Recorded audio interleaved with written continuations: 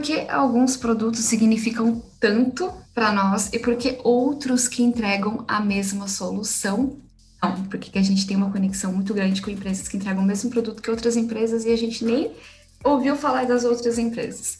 E bom, isso tem muito a ver com o Primal Branding. O branding é um tipo de branding baseado nas coisas primitivas. Eu li esse livro do Primal Branding do Patrick Hanlow e também estudei um pouquinho mais sobre esse tema dentro do, de um curso de marketing de conteúdo que eu estou fazendo do Paulo Cuenca. Ele fala também Simon Brand foi um está sendo um assunto que eu estou me apaixonando assim porque ele é incrível mesmo. Eu não vou conseguir falar tudo que eu vou que eu, que eu tô estudando, que eu queria trazer, porque o tempo é curto, mas eu quero trazer a essência do que, que significa o Primal Brand. Então vamos lá. Primal Brand, é, qual que é a essência? É a gente entender uh, como as pessoas viviam antiga, antigamente. E como elas viviam, elas viviam em comunidade, né?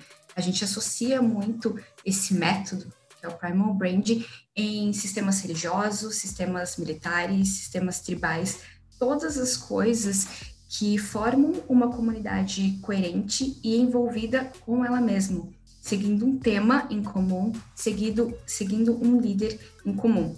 E o Primal Brand ele é usado por muitas empresas para se tornar uma marca forte, né? Ele é um método e esse método ele é construído em cima de sete a gerenciar os conceitos intangíveis da, da marca. É, então, assim, quando a gente. O primal, né? Ele quer dizer o primitivo, a gente olhar lá atrás como eram construídas as as comunidades antigas, né? Quais são os padrões que essas, esse sistema religioso, essas tribos, essas pequenas comunidades se construíram e se tornaram muito fortes ao longo do tempo. E esses sete ativos, ele é construído uh, a gente trabalhando, né? Quais são esses sete ativos? História de criação, as ícones, os rituais, os descrentes, as palavras sagradas e o líder. Esse é um conjunto desses é, eu digo ativos, mas são fatores que constroem o primal branding de uma empresa. E eu vou passar por cada um desses ativos mais para frente, explicando para vocês e como a gente pode aplicar, como as empresas estão aplicando no, nos seus próprios negócios, né? E branding é, são um sistema de crenças, como eu trouxe aqui, e a gente trabalhando esse sistema de crenças, a gente consegue ter uma vantagem competitiva. E qual que é a, a, a vantagem competitiva que a gente tem quando a gente trabalha esse sistema de crenças? A gente consegue trabalhar confiança, é, gerar confiança no nosso cliente, a gente gera conexão, a gente gera relevância, a gente gera senso de valor no nosso produto, no nosso serviço, a gente gera empatia liderança, a gente cria uma liderança em cima daquilo que a gente acredita, a gente desenvolve uma visão e a gente cria um compromisso com o nosso público.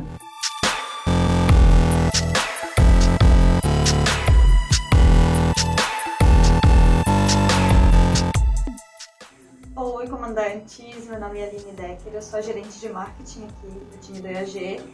E a gente está implementando, por que eu tô aqui falando com vocês, né? Porque a gente está implementando um outro tipo de reunião agora, que talvez ela não seja permanente, a gente vai ver como que vai ser, mas o Marcelo sempre fala, né, que tem um MPF, a gente acredita em meta, planejação e execução. E aí quando a gente estabelece uma meta e não está alcançando essa meta, a gente precisa agir sobre ela, traçar outros planos para a gente poder alcançar. E aí para a gente ter agilidade aqui no nosso dia a dia, na a gente conseguir executar alguns projetos mais rápidos, a gente implementou a metodologia de gestão ágil, que é o Daily. Tem até um podcast que a gente gravou, que depois a gente vai deixar ali para você arrastar para cima e ver, mas a gente implementou essa metodologia aqui com o time todo para a gente ter agilidade no processo. Só para explicar bem rapidinho, né, como que a gente faz. A gente está fazendo uma reunião todo dia, aí tem, toda segunda-feira a gente está fazendo o planejamento das tarefas da semana, o que, que a gente tem que entregar da segunda-feira até a sexta-feira, e até sexta-feira tem que entregar, ou seja, até amanhã tem um monte de tarefa para ser entregue ainda. E aí todo dia a gente para 15 minutinhos e a gente vê o que está acontecendo, o que, que cada um fez ontem, o que, que tá, vai fazer hoje e se tem alguma coisa impedindo. Porque se tiver alguma coisa no meio do caminho impedindo, a gente já vai agir, fazer um plano de ação ali para tirar esse negócio do meio do caminho para a gente poder executar. Então é desse jeito que a gente está executando esse daily.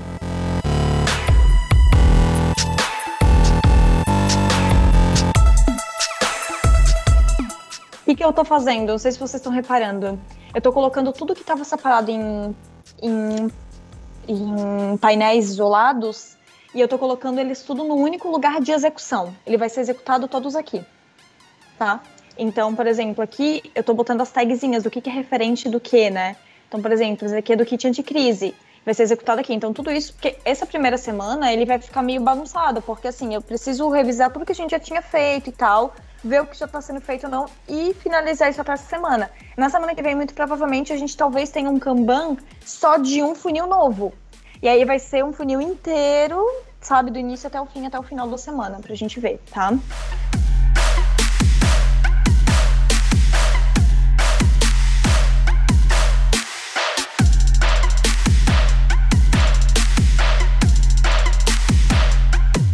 Ah, deixa eu só interromper a gente, porque a gente tá falando muito do futuro, a gente precisa olhar para agora, né? Tipo, para os lançamentos futuros, tipo assim, a gente vai fazer um debriefing e a gente discute esses pontos. Só que a gente tá no meio de um agora. Então, né, o que a gente tem que fazer agora, que é o, o foco que a gente tem que ter nesse momento. Mas a gente já discutiu das ações que a gente vai fazer. Já anotei que Fefe vai rodar a campanha. Hoje, entre as 6 e as 20 horas, convidando o webinário. Vou fazer os slides, o Marcelo vai estudar o slide, vai ser feito no hotel, com a estrutura top. O F e o Luca vão estar lá. É, a gente vai fazer recuperação de carrinho. E a princípio, essas são as coisas que a gente vai fazer. E mais criativo, que tem esse criativo também novo, que a gente vai botar para rodar também, assim que o Marcelo gravar. Então, a princípio, a gente tem essas ações. Fala, Rai. A Vitória, ela fez um carrossel focado também no, em abertura de carrinho, de inscrições abertas, que vão sair na sexta-feira. A gente pode utilizar para campanha também. Daí, qualquer coisa pode vir com o Fer da gente utilizar para campanha e vamos rodar para ver se uh, o que rola. Porque talvez, acho que carrossel a gente não tem, né, Fer, rodando.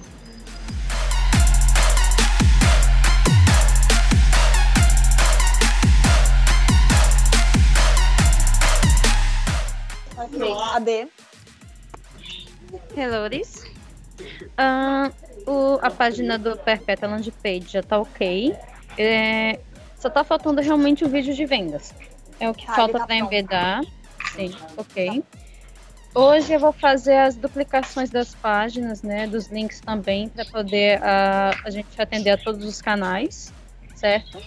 E aí, a única coisa que eu vou precisar é só que você verifique, Aline, ou Aline, mais alguém, não sei, se as datas dos próximos eventos, se elas estão realmente fazendo sentido nos lugares que eu coloquei.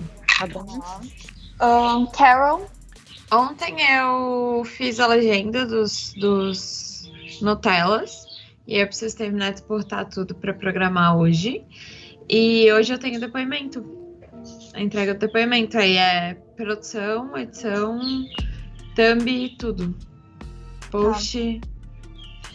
Tá. Oi, Oi. Ontem eu planejei stories, tive uma reunião de alinhamento com o Marcelo, trabalhei no meu projeto de estágio, respondi comentários e hoje eu vou continuar trabalhando no meu projeto de estágio. Vou marcar uma, um benchmarking com algum CEO para me ajudar e continuar a ver o curso do Ladrinhas por isso. Viram? 10 minutinhos de reunião. Nem tomou muito Fala. tempo de vocês, viu? Ah, que isso? É, Estamos é de performance. gente, beijo pra todos vocês. Falou! Dali. Bom trabalho, Falou, gente. gente.